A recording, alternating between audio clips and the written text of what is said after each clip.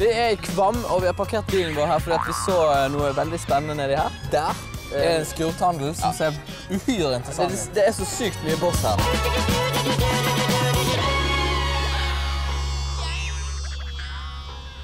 Hallo?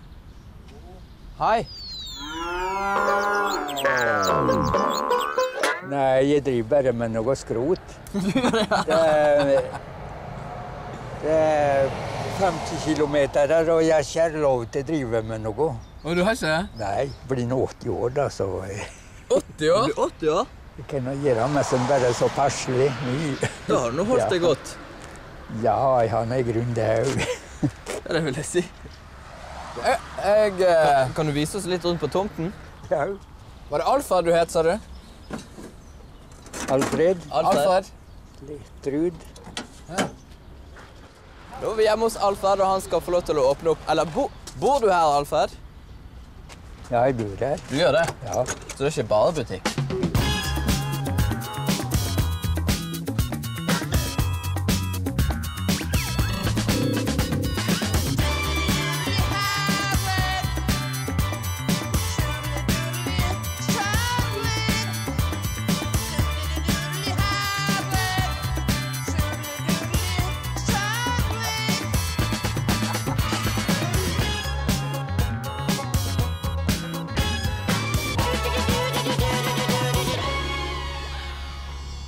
Men du, Alfred. Det er meg selv. En vanlig arbeidsdag for deg.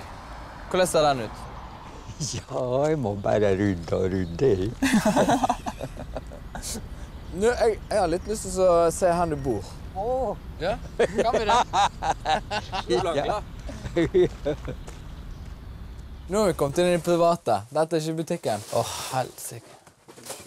Du, hva er det du gjør her? Nei, jeg var nå uh, skiferstein. Jeg vaska, vaska av målinger. Å, du vaska målingen på skiferstein. Her har du to fluesmekker, en pipe. Hva er dette, da?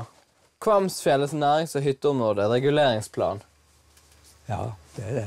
Vil du helst ta vare på den? Eller kan vi kaste den? Nei, den må jeg ta vare på en stund til. Du må ha den en stund til. Ja. Denne må han altså ha en stund til. Hvor sover du hen? Nei, jeg står og sover.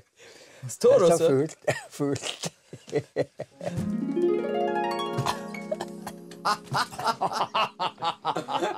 Her har du fått det fint. Har du vilja sti der? Det er jo en sti her. Står du bare rett opp og ned, liksom? Går du inn der, og så Ja, du. jeg går der og sover. Hvordan står du? Gi vakt. Står du sånn? Ja. Mister ikke du Og balansen? henger med hodet. Henger med hodet? Men, men faller du ikke, da? Nei, jeg våkna etter meg som jeg holdt på å stupe. Du, jeg har lyst til å kjøpe denne her. Jeg fant en opptrekker. Hvor masse skal du ha for den? Jeg skal ha eh, 50 øre. 50 øre? Det er altfor lite. Jeg gir deg fem kroner. En krone, noe mer enn nok. 2,50. Møtes på midten. Ja. Ja, det er greit.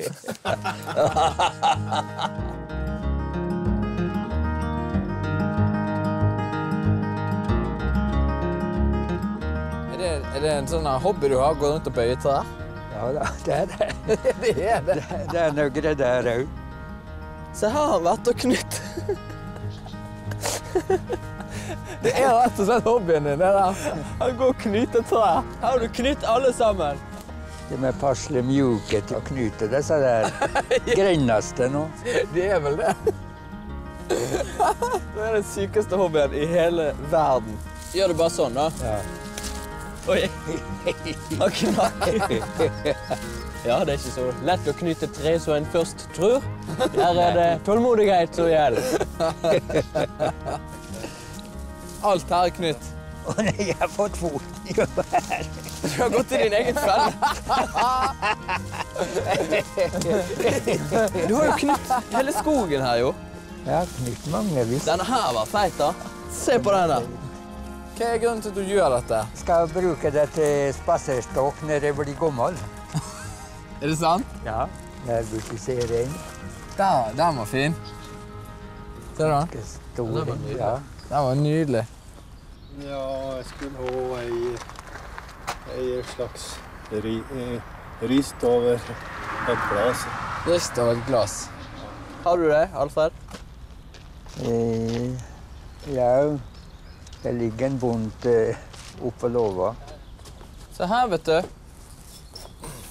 Der, ja. Her har vi litt. Der, ja. Er ikke det perfekt? Det skal ikke mye til, da, mammen. Hvor mye skal du ha for meteren på denne her, da? Vet du det? Det er så lite at en kunne ha kjøpt hele bunten. da bare. Men det er godt å ha litt grann Men jeg skulle håpe ha er lite? Jeg skulle ha bare er lite. Hva skal du ha for hele bunten, da? Nei, ikke Hele bunten. Hundrings. Jeg skulle ha bare noe for Det blir 20 kroner. Fy flate. Det var bra, hæ? Ja, bra. Det var da kolossalt til fotografering, dette. Ja. Ja, han er slitsom, han er i lengden. Nei, Ja, dette må være slitsomt.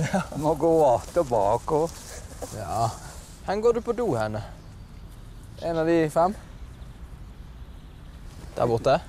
bort på låva der. Og på baksida? Ja. Du har ikke innedo? Så du har utedo? ja. Det er ikke bra å få gå en tur ut, da.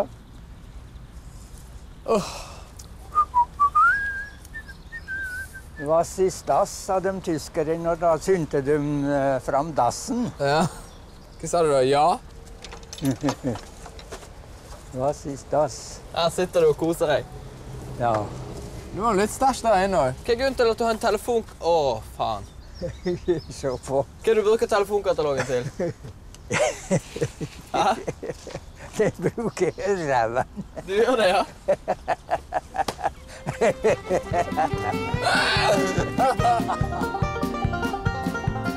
Tusen takk for oss, Alfred. Det var veldig hyggelig. Tusen hjertelig takk for oss. Må du ha en fin dag videre. Like måte. Lykke til med salget. Takk. Ha det bra. Hei, hei. Det. Det var vel en eh, liten overraskelse i dag. Ja, det var det. Der lå en liten skatt inne i landet vårt som heter Alfred. Ja. For en kul fyr. Og som er Skrothandler, det er jo én ting. sant? Det, Det så vi jo. Altså, for, du kan holde på i 30 år der. Det, det er ikke sjans. Altså, det er jeg tror det er vanskelig å formidle med TV-hjelpemidler. Og så fikk vi jo den bonusen med at han eh, hadde den eh, vanlige hobbyen knyte trær. Ja, det var gøy. Men se, han holder på. Nå kommer det kunder fra Sverige. Vi ønsker han all lykke Ja, virkelig, altså. Alfred, knyte tremann.